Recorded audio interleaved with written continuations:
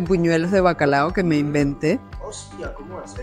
Deliciosos buñuelos de bacalao y plátano. Puedes utilizar un plátano macho maduro. También puedes usar plátano fruta verde. Llévalos al fuego y mientras se cocinan, pelas un bacalao con las manos o con ayuda de un cuchillo. Desmenúzalo o córtalo en trozos muy muy pequeñitos. Una vez haya hervido el plátano, lo retiras del fuego y lo pelas. Al bacalao desmenuzado le añades un huevo. Cortas los plátanos en trozos más pequeños para que sea más fácil de mezclar. Añades un poco de sal, pimienta, ajo y perejil un poco de queso rallado y utilizado en mental bio, lo mezclas todo muy bien con las manos, formas los buñuelos del tamaño que prefieras, los dispones en una bandeja para horno y lo horneas durante unos 20-25 minutos a 180 grados o hasta que veas que están doraditos y disfruta.